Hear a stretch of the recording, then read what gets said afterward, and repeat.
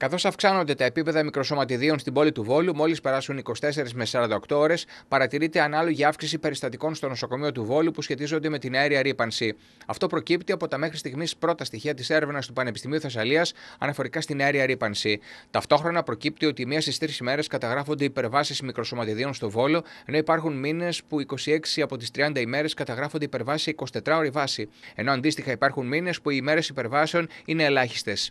Αυτά είναι μερικά από τα πρώτα τα συμπεράσματα που είχαν την ευκαιρία να αποκομίσουν τα μέλη της Δικού Επιτροπής του Τεχνικού Επιμελητηρίου Μαγνησίας στη συνάντηση εργασίας που πραγματοποίησαν με τον αναπληρωτή καθηγητή του τμήματος Μηχανολόγων Μηχανικών του Πανεπιστημίου Θεσσαλίας Γιώργο Σαχαρίδη. Εδώ και έναν χρόνο βρίσκεται σε εξέλιξη έρευνα για την αερορύπανση στο Βόλο από την ερευνητική ομάδα του Πανεπιστημίου Θεσσαλίας με επιστημονικούς υπευθύνους τον κύριο Σαχαρίδη και τον καθηγητή Κωνσταντίνο Γουργουλιάνη. Το Μάρτιο του 19 ε, έχουμε 26 από τις 30 μέρες συνεχή υπέρβαση των ορίων.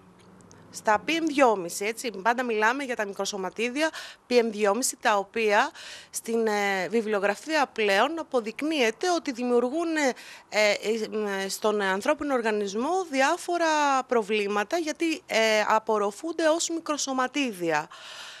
Ε, γι' αυτό το λόγο η έρευνα έχει κάνει κάτι πρωτοποριακό, έχει συνδεθεί με το νοσοκομείο του Βόλου, και καταγράφονται εκεί τα περιστατικά τα οποία έχουν την, την, ε, τα χαρακτηριστικά αυτά που αποδεικνύεται ότι τα μικροσωματίδια μπορεί να δημιουργήσουν, όπως για παράδειγμα εγκεφαλικά ή άλλου τύπου προβλήματα, επεισόδια, τα οποία συνδέονται με αυτά τα μικροσωματίδια.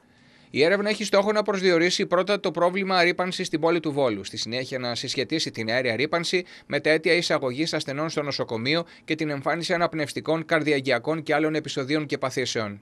Όταν έχουμε υπερβάσεις στην ε, αέρια, ε, στην ατμόσφαιρα, μετά από δύο μέρες εμφανίζεται παράλληλη αύξηση της καμπύλης των περιστατικών, των επεισοδίων. Δηλαδή παρουσιάζει μια διαφορά φάσης χρόνου, δύο ημερών, αλλά τα επεισόδια αυξάνονται και στις, ε, σχεδόν σε όλες τις περιπτώσεις είναι μια παράλληλη καμπύλη.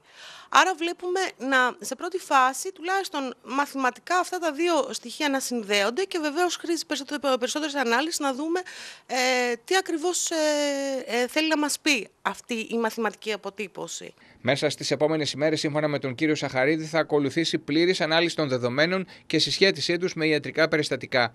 Οι ανακοινώσεις σε ό,τι αφορά στα τελικά αποτελέσματα της μελέτης θα γίνουν όταν αυτή ολοκληρωθεί. Να δούμε σε κάθε περίπτωση ε, που προκύπτει ποιες είναι οι μέθοδοι που πρέπει να ακολουθηθούν είτε αντιρρυπαντικές για την ε, βιομηχανία είτε θέματα, ε, για παράδειγμα, διαχείρισης του κυκλοφοριακού για να, να ληφθούν μέτρα και σιγά σιγά να ταξινομήσουμε τα μέτρα και τις πολιτικές που πρέπει να ακολουθήσει η πόλη μας για, για να κατεβάσουμε τις υπερβάσεις.